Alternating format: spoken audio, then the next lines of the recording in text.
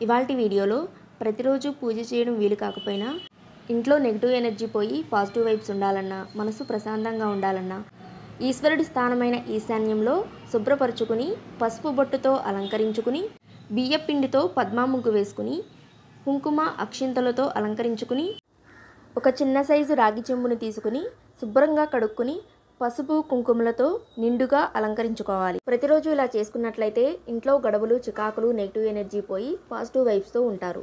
రాగి చెంబు నిండుగా మంచినీరు తీసుకుని అలంకరించుకున్న ముగ్గుపై ఆకు కానీ ప్లేటు కానీ పెట్టుకుని దానిపై రాగి చెంబుని పెట్టుకుని అందులో లక్ష్మీదేవికి ఎంతో మంగళకరమైన పసుపు కుంకుమ అక్షంతలు రూపాయి నాణెము వేసుకుని ఎర్రటి పూలతో అలంకరించుకోవాలి.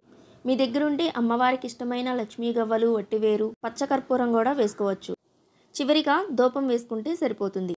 ఈ వీడియో మీకు నచ్చినట్లయితే లైక్ చేయండి సబ్స్క్రైబ్ చేసుకోండి. Thanks for watching please subscribe ఈ శ్రావణ మాసంలో అమ్మవారికి ఈజీగా గాజుల మాల తయారు చేసుకోవడం కోసం ముందుగా ఒక కాటన్ దారాన్ని తీసుకుని ఒక గాజుకి ముడి వేసుకోవాలి.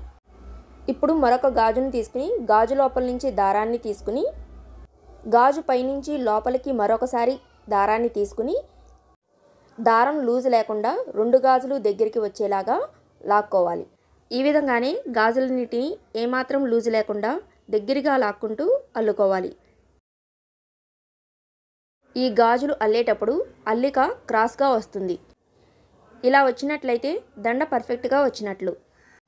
ఇలా గాజులన్నిటిని అల్లుకున్న తర్వాత దండ లూజ్ అవ్వకుండా ఉండడానికి చివరి గాజుకి రెండుసార్లు ముడివేసుకోండి సరిపోతుంది. ఎంతో ఈజీగా చేసుకునే ఈ గాజుల మాల ఈ శ్రావణ మాసంలో మీరు కూడా ట్రై చేసి అమ్మవారికి అలంకరించండి. ఈ వీడియో నచ్చినట్లయితే ప్లీజ్ లైక్ చేయండి అలాగే సబ్స్క్రైబ్ చేసుకోండి.